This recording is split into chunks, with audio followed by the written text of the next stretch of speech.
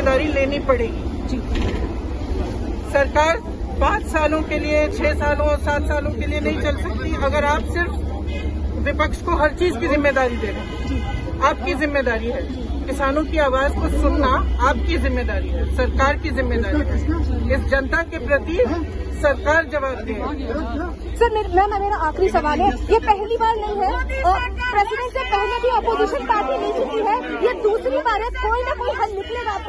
है होपफुल हल तब निकलेगा जब सरकार किसान की आवाज़ सुनेगी तब हल निकलेगा। चलिए चलिए।